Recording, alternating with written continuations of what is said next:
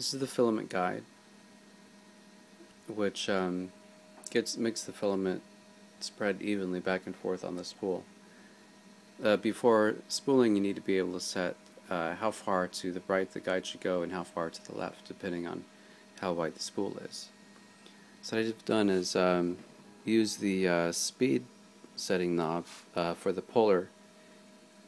Hold down the switch, can turn the knob to position the guide for the right. Hold down the switch again, turn the knob to position on the left.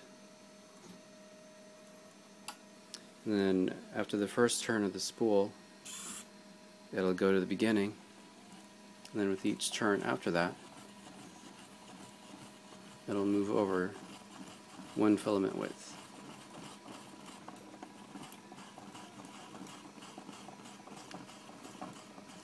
This is handy because if you want to use a drill or something to spool up really quick, the guide will still work as long as you have it plugged in.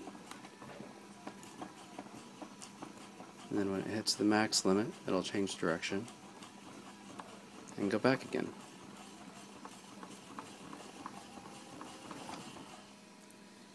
of course, it's possible this the spooler motor is on an arm, so you can lift it up off the gear to free up the spool whenever you need to.